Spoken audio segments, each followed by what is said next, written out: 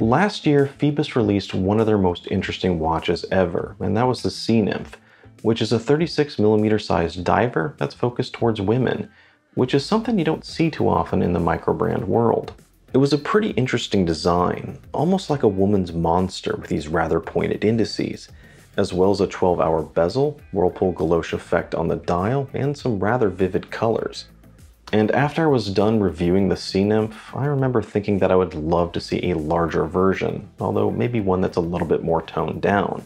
And a year and a half later, that's pretty much what we have with the brand new Voyager, albeit with a few differences. The most obvious of which is that they replaced that whirlpool effect on the dial for one that's a bit more cocktail time than Davy Jones. But before we get to all of that, just for the sake of transparency, I do need to mention that just as in previous Phoibos reviews, they initially contacted me and asked if they could give me this watch to review. And as far as I know, they aren't asking for it back, so just bear that in mind going forward. But for now, let's jump right in. So Phoibos decided to keep this as a more moderate sized diver, going with a 40mm wide case without and just over 43mm with the crown. And I think that is a rather smart decision, as a 42mm version of this would just be a bit over the top. It's also got a lug-to-lug of 46mm, so overall it's a more compact footprint compared to some other modern divers out there, which should make this more accessible to a lot of different wrist sizes. However, this is on the tall side, as I measured a total thickness of 14.5 millimeters, and that is from the top of a double dome sapphire to the bottom of a very embossed case back. It's still very manageable, but that height is noticeable. And at 170 grams with its bracelet, it has a really solid feel to it. It's enough weight that you notice when you pick it up, but it's still pretty comfortable on the wrist. Now, that bracelet balances out the weight nicely, but if you do wear this on something like a NATO, it can feel slightly top heavy thanks to that extra height. Now, rounding out the specs, you have a 20mm lug width, 300 meters of water resistance, and it's all powered by Seiko NH35A movement. The finishing of the case is pretty good, and the only sharp edge or angle on the entire thing is on the side of the bezel, where it's actually supposed to be. When you look straight down at the Voyager, there's not a lot of the case to see, basically just these stubby lugs that are coming out of it. Now, the top of those lugs are brushed, but everything else you normally see has a mirror polish to it. And since there isn't any kind of beveled edge that runs along the side, the resulting mirrored wall on the left makes that 14.5mm thickness even more apparent. Overall, the polished finish looks great, and I think it's very fitting with the dial and bezel, but you will find yourself wiping away smudges frequently. Away from prying eyes, you have the back, which is entirely brushed including the nice embossed caseback, which is complete with the Phoibos logo. And the caseback is pretty similar to the last few Phoiboses I've seen, and just like the logo itself, you're either gonna love it or think it's a bit odd. Either way, that logo is also on the signed screw down crown, now, the crown is a bit small in proportion, as it's seated in between two slight bumps that act as crown guards, but it's just tall enough that you're easily able to grab it, unscrew it, and use it. And this all brings us to the bezel, which I'm sure some of you have been staring at this entire time. And before I go over the design, let's just talk about the action, which overall has a great tactile feel to it, and a nice audible click as you turn it. It's also one of the easiest bezels I've run across to use. It doesn't stick out very much from the case, but there's always enough surface area and traction on the edge of that bezel that you can get a good grip and turn it. It's also 120 click, unidirectional, and just a smidge of backplay. So overall it's set up more like a timing bezel than say a 12 hour dual time. But other than that, it's a pretty good bezel. The design, however, is one thing that surprised me. And when I first took this out of the box, I just wound up staring at it, as I kind of had to take it in before I could even move on to the dial. I'm not sure what I was actually expecting, but I don't think this was quite it. Now, it's basically a stainless steel insert, and one that's been sandblasted around the hour indicators, creating a sunken level. And that level has an almost frosted look to it, which by contrast makes the indicators on the bezel just really pop, as they not only stick up, but have a mirror polished finish on them. And this bezel insert is one of the major departures from the previous Sea Nymph. And I think if they had gone with a colored aluminum or ceramic insert, it would have been a much safer choice here. Now, individually, I think this bezel looks really cool, but I've honestly gone back and forth on whether it really fits into the design, because at times I do find that it distracts from the dial. Yet, one thing I have realized with the Voyager is that swapping out the bracelet makes a drastic difference in the look and feel of the watch. And I think that's especially true when the strap you use complements the dial as that change seems to take the bezel from being part of a larger, more sterile metallic frame to then being more of an extension of the dial, and one that really pops out at you as it's surrounded by a touch of color, which for me has made a big difference in how I look at this watch. Anyway, I'm sure a lot of people have different opinions on this bezel, and feel free to write them out down below. But rather than just focus on this, let's move on to the dial itself which is nothing short of stunning.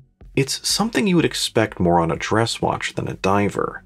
And no matter the angle or the lighting conditions, the sunburst effect on the textured dial is gorgeous. And this, I think, is a vast improvement over the flat whirlpool effect that was on the Sea Nymph. Now, whenever I see anything quite like this, I automatically think about Seiko's Cocktail Time. But as gorgeous as this Guilloche dial is, it still can't compete with the magic that Seiko has done with that cocktail time. That Seiko is just on a whole other level. Now, the hardest thing to describe about this dial is the color itself. The other four Voyagers are a bit more obvious, but this brown one is kind of like a cross between mocha and copper, and it can shift a bit depending on the light. The color is a bit different, yet it's still vibrant, but maybe not over the top like, say, the green one.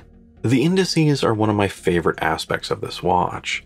They're applied, and they're these rather pointed diamonds, with a slightly larger one at the 12 and maybe more of a hexagon at the 3 and 9. The polished framing and angular shape of those indices look beautiful, and they look right at home on that supernova of sunburst, with those points pointing inward and then following the path laid forth by the pattern texture. And that just draws your eyes right where it needs to be. Just beyond the indices, you have a detailed chapter ring with minute indicators, which I do appreciate from a functional standpoint, as it makes reading and setting the watch a whole lot easier. But I think it does look out of place on a dressy dial. Now, moving down to the 6, we have a date window with a very nice metallic framing. And I think this is one instance where I think they made the right choice going with a white date wheel instead of one that matches the dial. With the white color and the polished framing, I think it looks as if it was just another indice. So it blends in better and I think looks rather symmetric with the overall design. I also really love the overall pointed hour hand, and I think it matches perfectly with the indices, which is something I think they should have followed with the other hands keeping the same pattern but larger for the minute hand, and maybe a diamond on the end of the second hand instead of a lollipop. I think it would have looked better, but it's also being a little nitpicky. Overall, the Voyager looks fantastic, and the polished framing and white colored lume on the dial make the design not only elegant, but very functional and very easy to use. Even the Phoibos logo on the dial is a bit more subtle. It's usually very front and center, boldly standing out, but here it's just painted on in silver, almost blending into the background. Which the same can be said for the text on the bottom, as it's rather small and doesn't stand out, which helps keep the focus on the design itself. The Voyager is a gorgeous, well-made piece, but I think it's one that finds itself in an odd position, as most watch geeks tend to like their divers more tool-like than dress.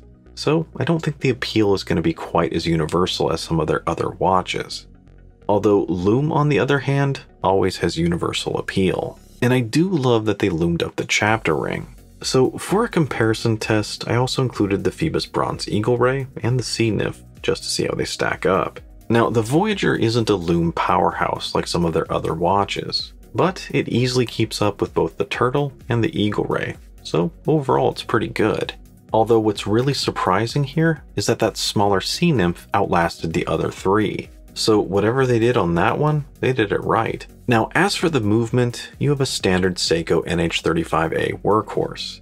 Standard beat rate, 40 hour power reserve, hacking, and hand winding. Overall, just a great movement. And unlike my recent Dress KX, this one seems to keep much better time, gaining about 5 seconds a day. So really hard to go wrong with this movement at this price. However, I can't help but feel that if they had gone with a Miyota 9015 or maybe even a Sellita, they could have kept the same design but had a slimmer profile, although that would result in a higher price tag. Anyway, let's move on to the bracelet, and the bracelet is really good.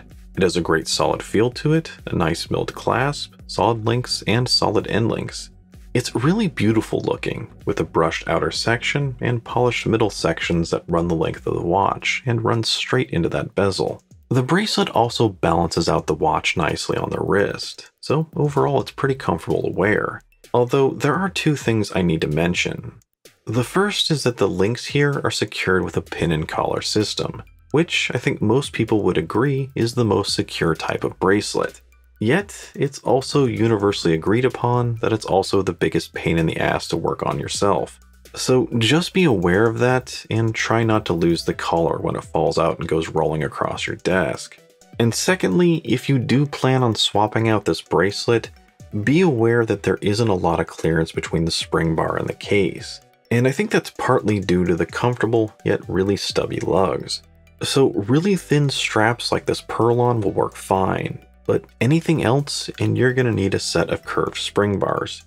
I even had to use them with this chain bracelet. And lastly, a brief word about value.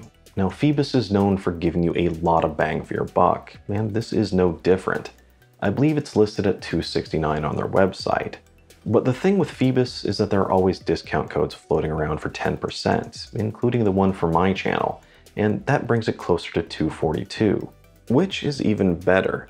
Now at that price, you're looking at double dome sapphire, a good bracelet, good lume, and basically a fully specced out Seiko NH35A watch.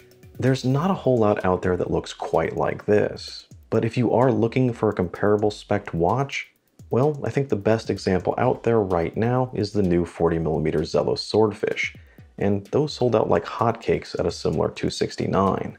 So the price and quality are definitely there, and it really comes down to how do you feel about this style of watch, as it's not your typical tool watch diver. It's got a bit more flash than that, and I kept thinking that it would be perfect to wear if I ever go back to somewhere like Atlantis. Now, I'd still prefer it if this was a bit thinner, and I think the look of the sandblasted bezel is going to throw a lot of people. And regardless of how good the bracelet is, I still prefer how this bezel looks when it's next to a nice brown leather strap, where it still has some flash, but a bit more of a casual feel. Now, as a whole, I like the Voyager. It's got a great size, very comfortable, and I really love this dial. It's one of the more interesting divers I've run across this year, and I think it shows that Phoibos has come a long way from where they started with just a subby homage. And that's pretty much my take on it. But let me know down below what you think about the Phoibos Voyager, or if there are any other upcoming releases you'd like to see. And as always, if you enjoyed the video, don't forget to like, comment, and subscribe. Till next time.